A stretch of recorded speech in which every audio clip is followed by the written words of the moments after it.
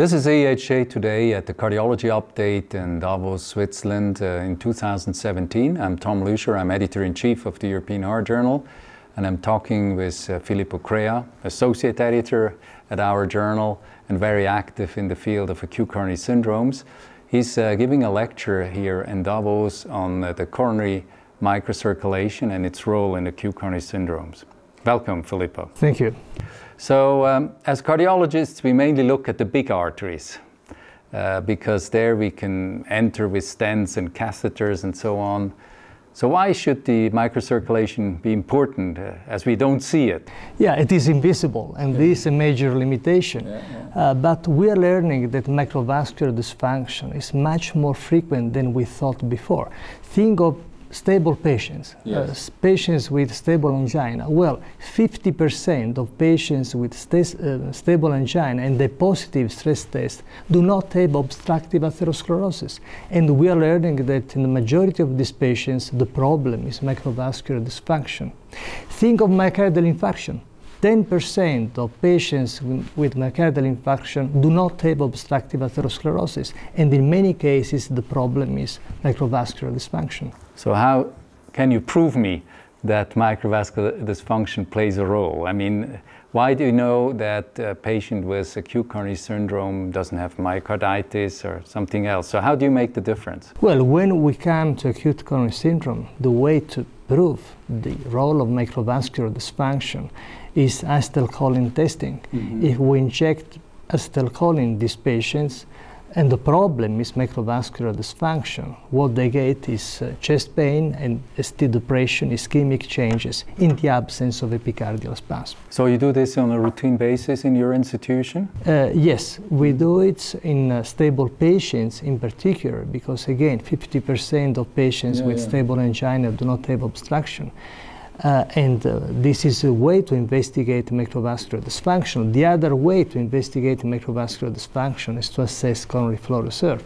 If it is less than 2 or 2.5, uh, well, we can make diagnosis of microvascular dysfunction. And is it safe to do this acetylcholine test in these patients? Yes, starting with low dosages. Mm -hmm. uh, mm-hmm. we start with 5 micrograms to 50, 100 micrograms. Mm -hmm. If you keep nitrates close to you and, yeah, yeah, yeah. and, and you have 12 lead ECG recording, it's pretty safe.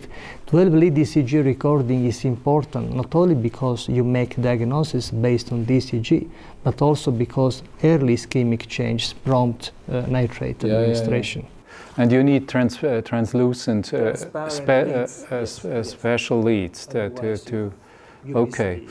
So in, in, let's start with patients with stable coronary artery disease, and it's true, uh, particularly in women. Uh, I think there's a preponderance in women. Yes, absolutely. Uh, we have we have often the situation we do a cath, we do maybe even right heart catheterization, everything's fine, and we let them home and say you're you're healthy. Uh, uh, and uh, but you do it differently. You, you want to prove that there is microvascular dysfunction. Now let's see, as, as, as say that you you did prove this.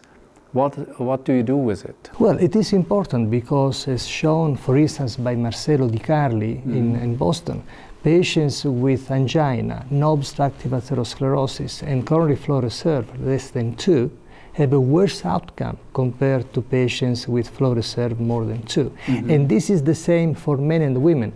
You are right, it's more prevalent among women, but the outcome is not good for men and women alike.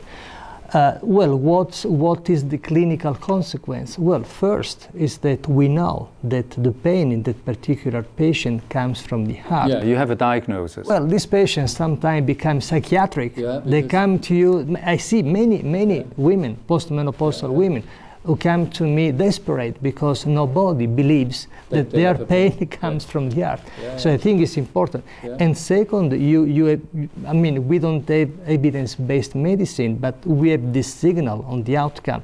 And I think that makes sense in these patients to really have good control of risk factors and the close follow-up. So these are the clinical implications. Now, obviously, also physiologically, the small vessels are a bit different than the large ones. So uh, nitrates don't work as well. No, no nitrates do not work. Yeah. And in, in, uh, in um, old and new and novel anti-anginal drugs, uh, they, they, work. I mean, the individual response to treatment is remarkably different among patients, but eventually you, you find the right combination. So we, how do you start? What do you first try? I start based on symptoms. If mm. patients mainly complain of rest angina, mm -hmm. I prefer to use calcium antagonist. Yes. Yeah. If it's mainly effort angina, beta blockers. Yes. And then ranolazine and ivabradine can also be used. Right. And in some of these patients, some of these patients have the sensitive heart syndrome. I mean, mm -hmm. they, they, are very susceptible to painful stimuli. Mm -hmm. In these patients, adenosine antagonist can be useful like aminophylline or mm-hmm. bamifylline, yeah. because we know that adenosine is the mediator of the anginal pain, yeah. and antagonist of adenosine can work. And also imipramine. Imipramine is very useful in the treatment of chronic pain, and yeah. in some of these patients, another is another potential form of treatment. So this is a tricyclic, uh, tricyclic compound. It was published in the New England Journal of Medicine long ago, yeah. but, uh, but the, the, the, the, information is there. And so it's a symptomatic treatment? It's a symptomatic treatment yeah, which yeah. can be important in patients who have really a difficult life because of symptom severity. So why don't we have large trials testing these uh, compounds as we do in epicardial coronary artery disease? Well, for the simple reason that microvascular angina has been accepted as a syndrome only a few years ago. Yeah. For the first time, it's been in guidelines in 2013. Yeah. So really, we have to build up now yeah. this knowledge and, and plan trials to test treatments. I think we, we, we really should push forward to that because I also see that in our cath lab we have a lot of patients and we send them home and uh, it's not a very satisfying situation both for the patients and for the, the physician.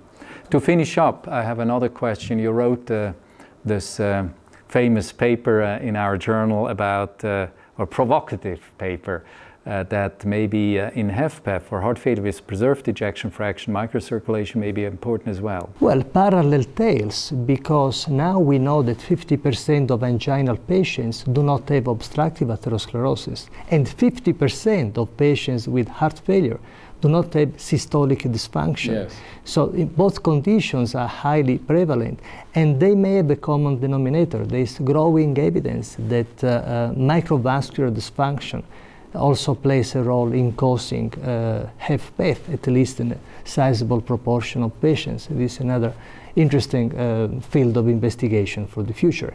And the last but not least, in Takotsubo syndrome yeah, yeah. as well, microvascular sure. dysfunction is, is, yeah. the, is the pathogenetic mechanism.